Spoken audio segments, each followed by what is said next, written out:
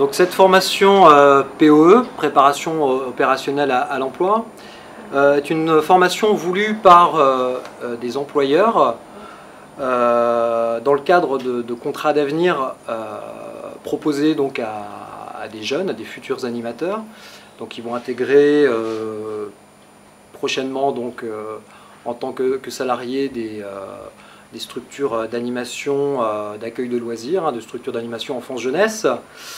Euh, cette euh, POE, qui est une espèce de formation expérimentale, est euh, le fruit donc d'un partenariat avec le, Pôle emploi et Uniformation, et donc les structures employeurs qui accueillent ces jeunes dans le cadre des contrats d'avenir. Donc l'idée de, cette POE, en deux mois, effectivement, est de permettre à ces jeunes d'acquérir les, compétences minimum à l'animation,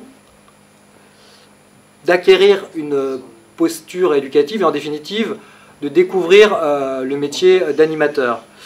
Donc cela passe effectivement par euh, un temps euh, en formation avec de nombreux apports pratiques, théoriques bien entendu, mais aussi une grande place faite à la dimension active, à l'analyse de pratiques, à la découverte d'activités multiples, de manière à avoir un bagage d'animation euh, riches hein, qui leur permettent ensuite effectivement euh, euh, de se positionner comme des animateurs avec les compétences et les ressources adéquates à, animer le, public enfant avec, avec qualité.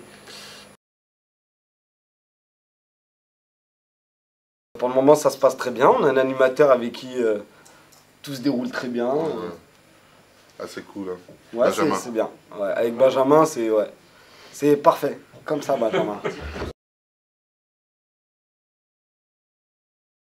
On a fait de tout. Activités euh, manuelles, euh, sportives, euh, ludiques, tout ce, qui tout ce qui peut servir dans l'animation. Donc,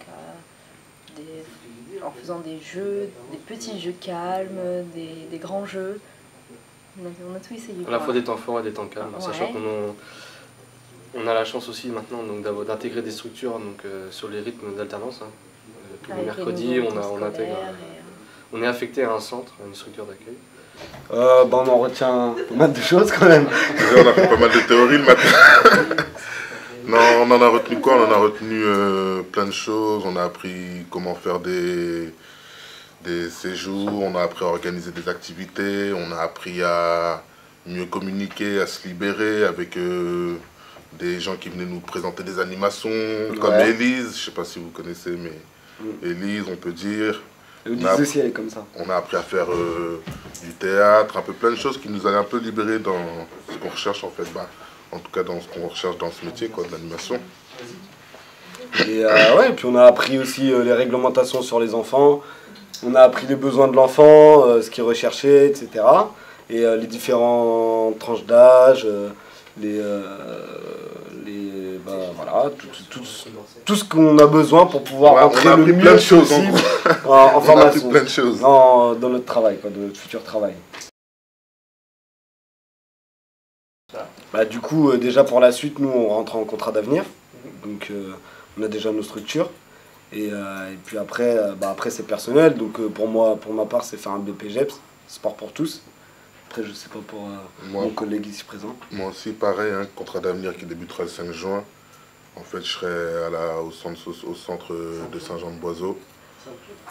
C'est un contrat d'avenir euh, de un an, pareil. Et pour l'instant, moi, j'aimerais vraiment découvrir le métier d'animateur, bien connaître, parce que j'ai encore plein de choses à découvrir. C'est vraiment une, une autre orientation pour moi. Et pour l'instant, j'y vois que, que j'apprends des choses nouvelles. Et pour l'instant, ça me plaît. Donc, je vois pas pourquoi. Pour le moment, je suis fixé en tant qu'animateur, moi.